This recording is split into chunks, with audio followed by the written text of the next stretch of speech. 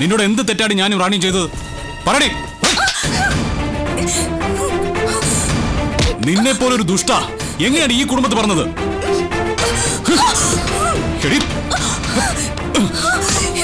പാടിവിടെ അത്. അത്. കൊല്ലുന്നു. അത്. അത് തല്ലി. ആദി, ഇവിടെ നീയായി കാണിക്കുന്നു ഇവിടെ തന്നെയാ അച്ഛൻ ഞങ്ങളുടെ കുഞ്ഞിനെ കൊന്നു കളഞ്ഞത്. തന്നെയാ അത് ചെയ്തത്.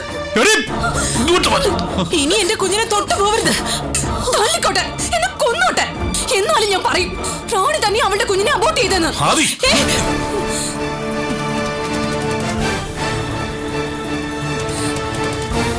എന്നെ എങ്ങനെയെങ്കിലും കുറ്റവാളിയാക്കി ഇവിടുന്ന് പറഞ്ഞു വിടണം. എന്നാലും അവളുടെ ഭരണം ഇവിടെ നടക്കൂ. അതിനാ ആദ്യമായിട്ട് എന്നെ കുറ്റവാളിയാക്കാൻ ശ്രമിക്കുന്നേ.